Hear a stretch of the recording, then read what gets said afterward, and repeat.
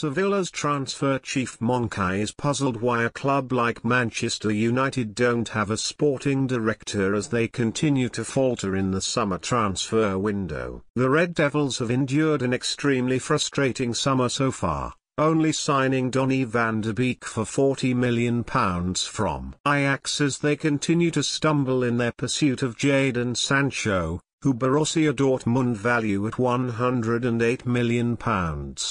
United have come under heavy scrutiny for their lack of transfer activity, and are now desperately looking to bring in some new faces despite their priority target still being Sancho, having been linked with the likes of Edinson Cavani, Luka Jovic, Ousmane Dembele, and Alex Telles.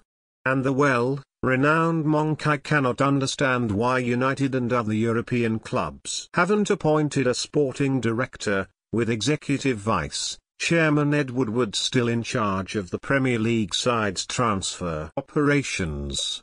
This is my opinion, all clubs should have this position, he told the Telegraph.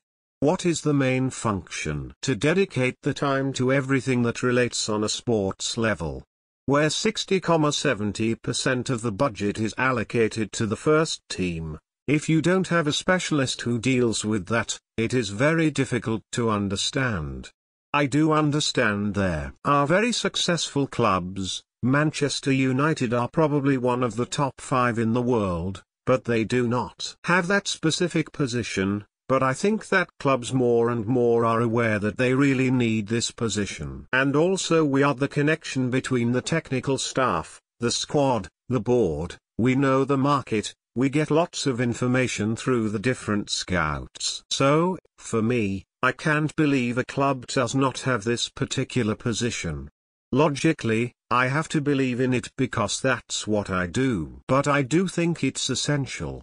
In previous years, United have in fact looked at appointing a sporting director, with the likes of Monchi himself, Edwin van der Sar, Erik Stoffelschouws and Paul Mitchell having previously been linked with a move to Old Trafford. However, nothing has come to fruition and Woodward continues to be the man tasked with looking to bring in fresh faces. But their transfer activity has flattered to deceive in recent seasons, and once again this summer, while the likes of Liverpool, Manchester City and Chelsea have all strengthened considerably.